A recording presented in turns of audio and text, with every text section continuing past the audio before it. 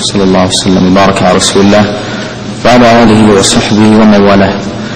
قال الناظم رحمه الله تعالى وكن عالما أن السلام لسنة وردك فرد ليس ندبا بأوطد ويجزأ, ويجزئ تسليم امرئ من جماعة ورد فتى منهم عن الكل يا أبي وتسليم نزر والصغير وعابر السبيل وركبان على الضد أيدي.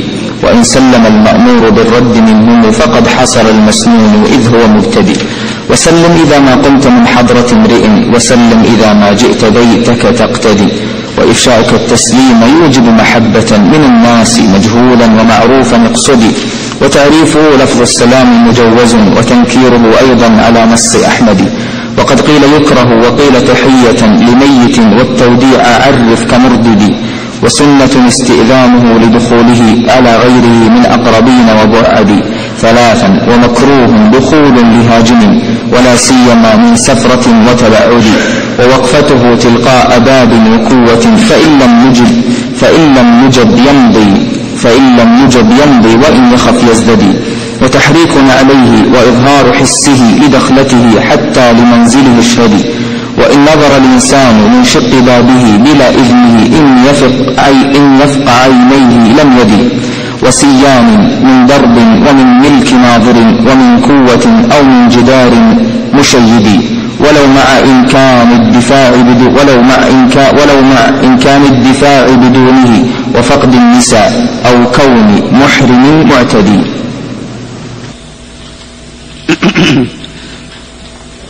السلام عليكم ورحمة الله. بسم الله الرحمن الرحيم. الحمد لله رب العالمين وصلى الله وسلم على أشرف المرسلين نبينا محمد وعلى آله وصحبه أجمعين.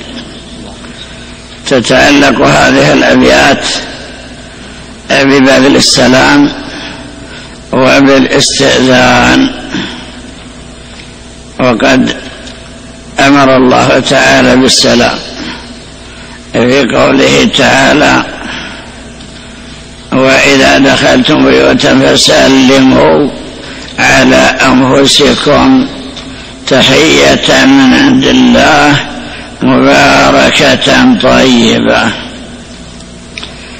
هكذا سلموا على أنفسكم يعني على أهليكم. كأنكم تسلمون على أنفسكم. وذكر الاستئذان والسلام في قوله تعالى لا تدخلوا بيوتا غير بيوتكم حتى تستأنسوا. وتسلموا على أهلها. تستأنسوا بالاستئذان. إذا استأذنتم وأذنوا لكم أنستم ودخلتم آنسين. وتسلموا على أهلها. وسمى الله تعالى السلام تحية. تحية من عند الله مباركة طيبة. وقال تعالى وإذا حييتم بتحية فحيوا بأحسن منها أو ردوها. وثبت أن النبي صلى الله عليه وسلم قال لا تدخلوا الجنة حتى تؤمنوا ولا تؤمنوا حتى تحابوا. ألا أدلكم على شيء إذا فعلتموه تحاببتم أفشوا السلام بينكم. يعني أعلنوه وأظهروه. فإن المسلم إذا سلم على أخيه عرف أنه يحبه ويوده. وإذا أعرض عنه ولم يسلم أوجس في نفسه خيفة وأضمر في نفسه بغضا. وخاف أن يكون واجدا أو غضبانا عليه. إذا مر به وصمت ولم يقل السلام عليكم. يقول وكن عالما أن السلام لسنة. يعني أنه سنة مؤكدة. يعني ابتداءه. ابتداءك يكون سنة وفضيلة. وردك فرض. ليس ندبا. فيقولون الابتداء بالسلام سنة ورده فرض واجب. لا بد أن يرده. ومن لم يرده يعتبر ترك واجبا. ليس ندبا ليس مستحبا فقط بل واجب. بأوطد يعني بآكد. ويجزئ تسليم امرئ من جماعة. إذا كنتم جماعة كعشرة فسلم أحدكم على هؤلاء الجالسين. أجزأ عن الجميع. ليس شرطا أن يتكلم العشرة كلهم بل يكفي واحد منهم إذا سلم يكفي. ورد فتى منهم عن الكل يا عدي. الجالسون الذين هم مثلا عشرة وعشرون. رد واحد بقوله عليكم السلام كفى ذلك عنهم.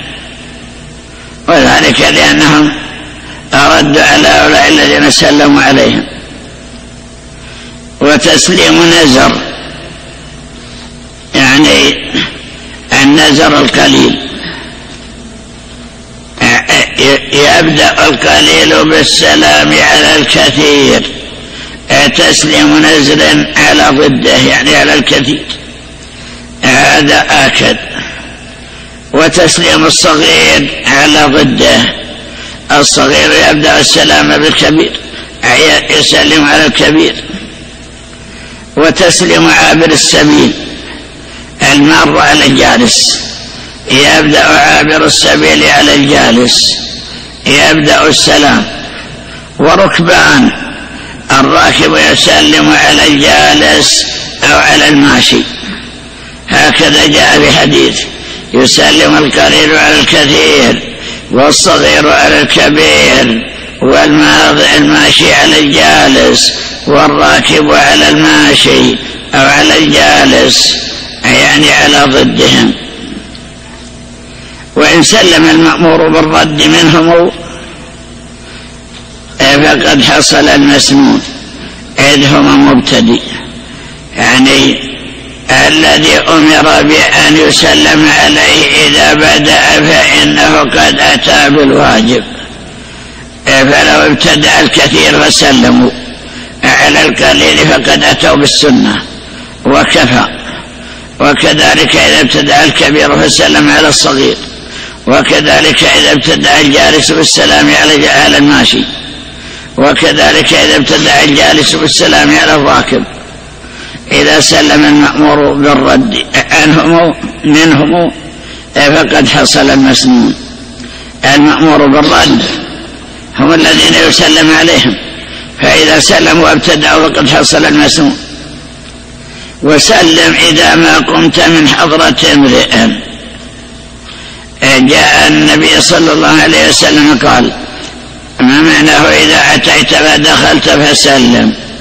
وإذا أردت أن تنصرف فسلم فليس الأولى بأحق من الثانية. عندما تريد أن تودع أن تقول السلام عليكم. هكذا.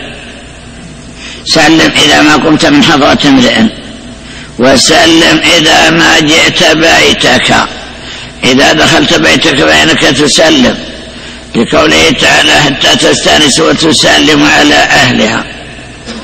إذا ما جئت بيتك حتى ولو كان بيتك خاليا ما في أحد. إنك أن تقول السلام عليكم. وإفشاؤك التسليم ويجب محبة. إفشاء التسليم على الناس يوجب المحبة بينهم. أفشوا السلام بينكم. إذا فعلتم ذلك تحاببتم. محبة من الناس مجهول ونقصدي مجهولا ومعروفا. على من عرفت ومن لم تعرف. هكذا قال النبي صلى الله عليه وسلم. في الحديث في قوله وتطعم الطعام